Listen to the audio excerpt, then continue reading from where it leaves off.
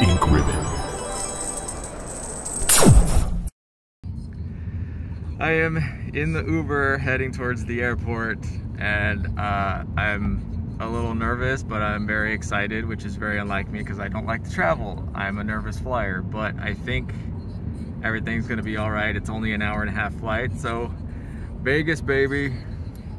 So I know this is weird but my flight is leaving from the like VIP terminal which is really really tiny and super fancy. Uh, okay, sure. of course, because why not?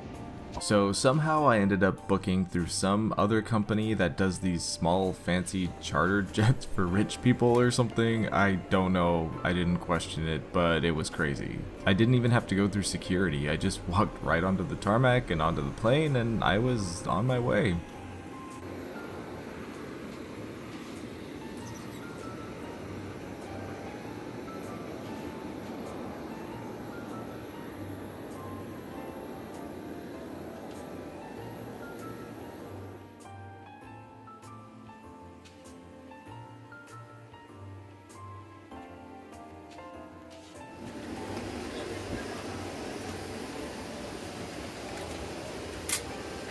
Morning, ladies and gentlemen. Welcome aboard JSX flight with service to Las Vegas.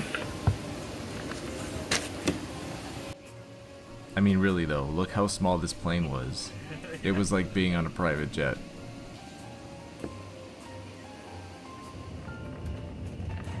I know this sounds stupid, but I really am a nervous flyer, so my new ritual is to film every takeoff and landing. I don't know why, but it comforts me, so enjoy this shot of taking off from California. Dear God, we're all gonna die.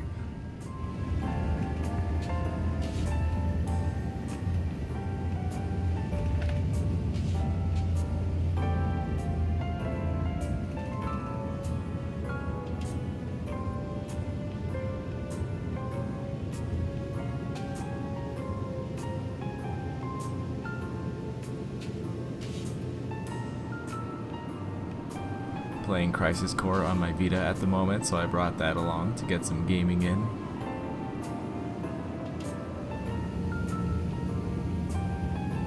And just like that, an hour and a half later, I am already in Las Vegas, ready to have a great trip and meet some very cool people.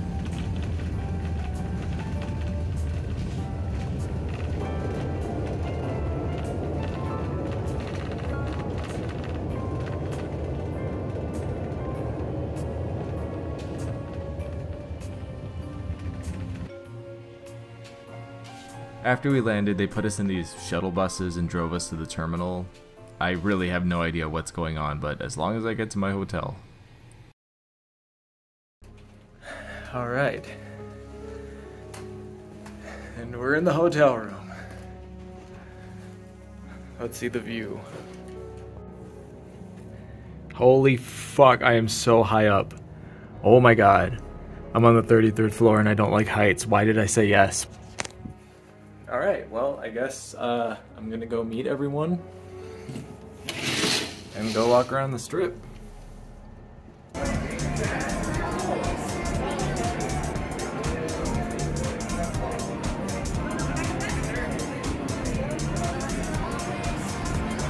I completely feel like I'm in Dead Rising 2. So if you've ever wondered what being in Las Vegas is like, it's a lot of walking around like this and looking at stuff and following people from one place to another. Or gambling everything you own, but that's not really my style.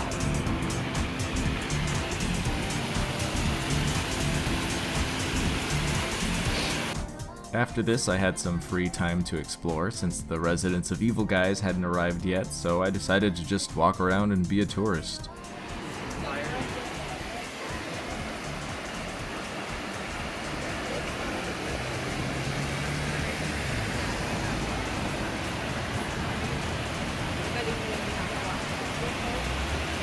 So I know this is super basic of me, but I'm heading towards the Bellagio because one, that's a really good meeting spot, but two, I just love the Bellagio fountains. I love them so much and I can't tell you why. They're just like, wow. And after walking about 5 miles in boots, I realized I was dying because I needed calories, so I stopped and had some veggies and a margarita pizza.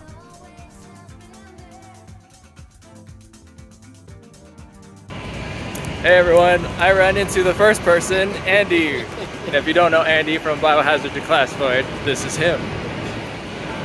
And uh, we're just wandering around Vegas looking for food.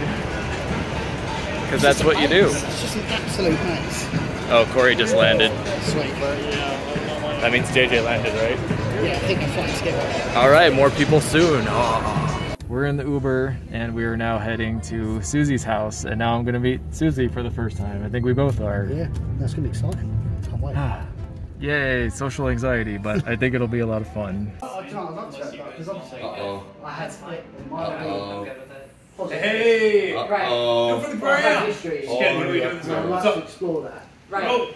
Where they lived. I just wanted to show people that we all actually met. It's just, Yeah. it's, I don't know, it's just I wanted. Hi, guys. Part of my, I'm filming this like a vlog. That's oh yeah, you did vlog. After having a great talk with everyone, we headed back to the strip to get some food because, once again, we were all starving, and we ended up at Yellowtail in Bellagio. 10 out of 10 if you like sushi. Highly recommend. Also, you have to try the roll that has Pop Rocks in it. I know it sounds weird, but they will tell you. It's amazing. I would, yeah.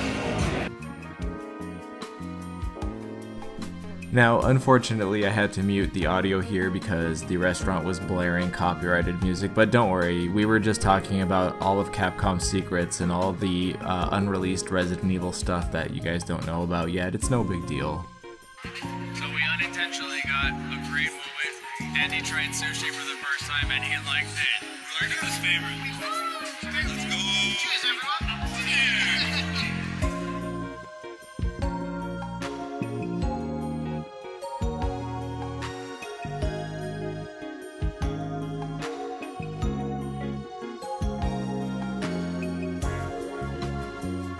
After eating some delicious sushi, we walked around the Bellagio Gardens and this place smelled absolutely amazing.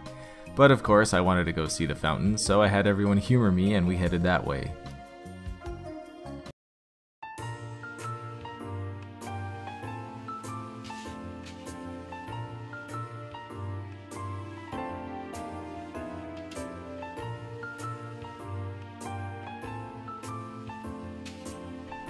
The song that we got wasn't the best. It was like some Italian opera song or something, but some of the performances are crazy and they fire the water like a hundred feet into the air. It's really awesome. And this is where the night began to go in a different direction because even though I told everyone I wasn't going to drink, when you're in Vegas, it's inevitable that some partying is going to happen. I'm having my first White Claw.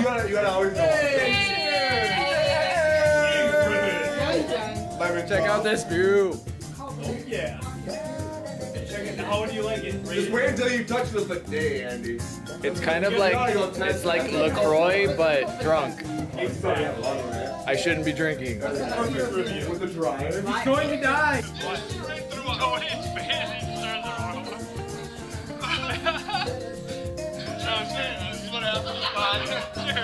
I'm not supposed to be doing this. Woo!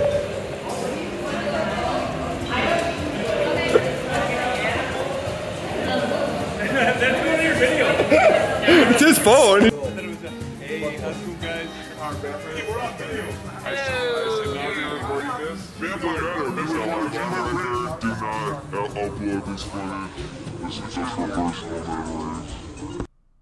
And that was the last video I took before we all got absolutely plastered. You can't tell, but I am completely dehydrated, exhausted, feeling like I could throw up at any minute, and if I slightly tilt my head, it feels like the whole earth suddenly rotates. So I decided to go for the most scientifically proven hangover cure a full breakfast.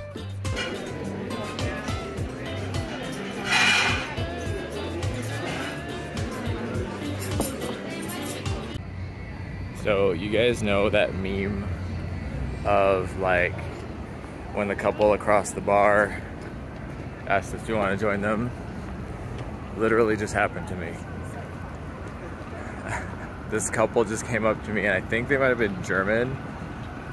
And they're like, "Oh, where are you from?" and blah blah blah. And then they're like, "You're really really cute. Like, we'd love to like get in bed with you." They were so direct, and I was like, "Ah," and I ran away. After not learning my lesson the first time, I walked another few miles in my boots and nearly passed out from hunger, so I stopped and had a burger. At this point, my feet were actually in like severe pain, and combined with my hangover and lack of calories, I knew I had to take drastic measures to make sure I was in good shape for the movie.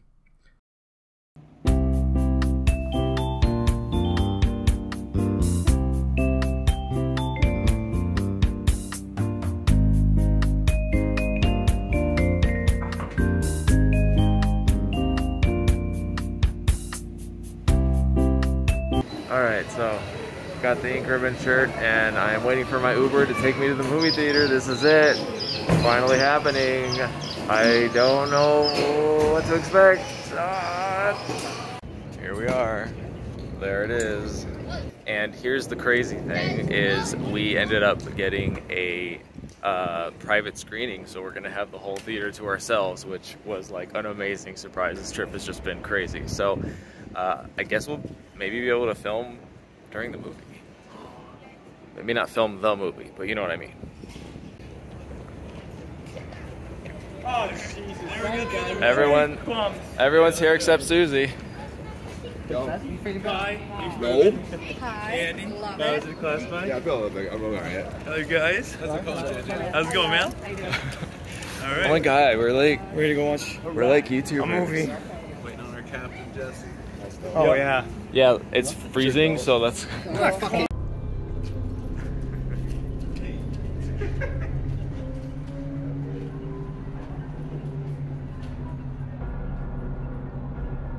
So, yeah, having the entire theater to ourselves was kind of a holy shit moment, but I was so excited that we were all going to finally see this movie. Very nice. There's no business. Your ad can the star of the show. Reach your customers on the big screen in a distraction-free oh, environment. Call We have the whole theater. and write your own This is Hollywood amazing. Download the Noovie Arcade app and give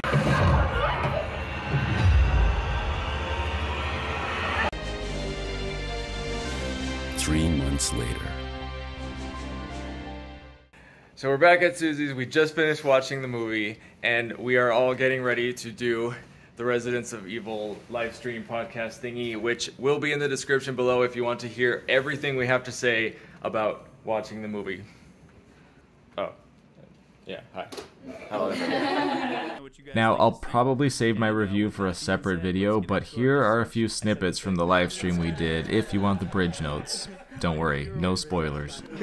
Let's get into Resident Evil Welcome to Raccoon City. So, first, I just want to kind of do like an overall thoughts walking out of the theater, real quick, your initial thoughts on the movie, and then we'll get into actually breaking it down and discussing it. So, we're going to start over on this end with Kai. What is your initial thoughts on this Uh, movie? Special thank you to people who were sending me spoilers, by the way. Very appreciated. But like everyone online was just, it's bad, it's bad, it's bad, and I was like doing my best to be optimistic, but in the back of my head, I was like, ugh. And I actually enjoyed it a lot more than I thought it would, and I'll explain why later. But like I like I liked it. Tony, if you want to jump in, what is your initial thoughts of the movie? Oh, Tony, are you okay? You want to take a minute? Give him some water. the 100,000 mark. Our hearts go out to those poor civilians of Raccoon City. But um, I want to cover first before we go. I want to go through the positive of what things stood out to you that you guys liked the most, and then after we go through this, what things you did not like, what did not work for the movie. So we will um, come back around again to Kai. Kai, what things did you like the most about this movie? Okay, I was taking notes. Okay. That's good. So what he said about the Easter eggs, you guys know I love my Easter eggs. Oh my God! Almost every shot had something in the background and some sort of reference or like whatever, and I was just like, ah, like like every five seconds I was like, hey, it's that thing. Um, the other thing is uh, the set designs were fantastic, and I'm sure you guys will elaborate on that. And another thing is uh, you guys know I like my lore. I like to look at the characters' backstories and, and learn more about them. This movie, while it's definitely not canon, uh, gives us the opportunity to really explore and actually see uh, certain things, like uh, without spoilers, like you know more about Chris and Claire uh, growing up. Uh, you know more about other characters, and it, it, it felt very realized um, and that's that's something that I I really like. And a lot of the depictions of the events were a lot more realistic and less sort of action movie than we're used to. And it, it was it was nice. Like some moments were like me and Andy were saying, it's like whoa, like that was like that was real. Yeah try to uh, keep her going here. But uh, Kai, what things did just not work for you in this Wait, movie? Are we, we're not in spoilers yet. Non spoilers okay. yet. After this just part, general, like, we made yeah yeah. Um, Aside from the Chris zombie I mentioned earlier. Oh god. So uh, going to the to the remixed stuff, some of it was really good. Mm. Where it was like, as a Resident Evil fan, you're like, you know, I never thought of it, but that's actually a really interesting idea. I kind of dig that. And then there was stuff where you were like what were yeah. what? Like mm. it just didn't make any sense at all. And some of it was like in a cool way where it was just so ridiculous that you're like okay sure. And then some of it you're just like oh my god like what did they do? No. That was there was a point in the movie and i don't mean to cut you off but literally we're like something happened and we all just looked at each other and we're all like yeah like all of us in the theater were like oh my god what? like what? Uh, like it was mutual. The the face and the hands was mutual between everybody but i'm sorry to cut you off. Continue oh, i can't wait to get to the spoilers you guys. Yeah oh yeah. my god so many things to say. Um i mean that's actually pretty much it without i, I everything's yeah. spoilers. I yeah. can't say anything. yeah Good morning, everyone. This is the last day. I have a flight in a couple hours. Oh, this was so much fun, but I'm so tired. And I can't wait to go back to my computer. but, um, I do have to say, it was really, really cool like meeting everyone in person, we just constantly kept going through this cycle. Like every every person would just randomly be like, "Can you guys believe this is really happening? Like we're really meeting." Everyone's like, "I know, this is so fun." Like the whole time, we just I still can't believe it, but I've never taken a plane trip to watch a movie before, but now I can cross that off my bucket list. Now, I am going to go get some coffee and pack all my stuff and check in and check out and, you know, all the travel stuff and let's see what my flight back is like. Although I'm sure it's going to be great.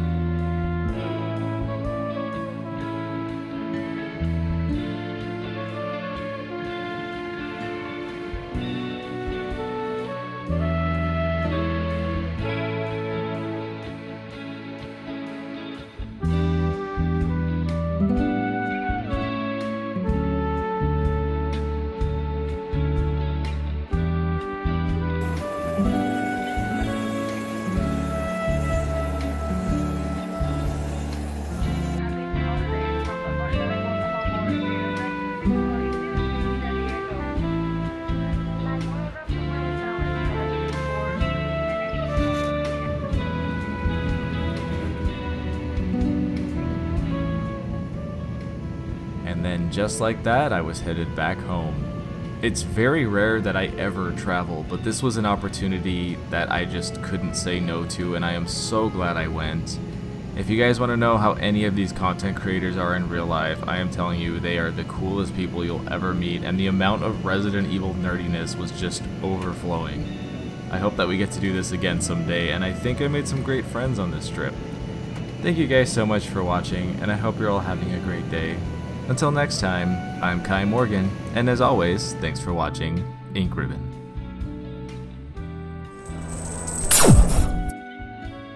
And a very special thank you to all of my Patreon supporters and YouTube members. Your extra support means the world to me and helps me keep making content for you guys.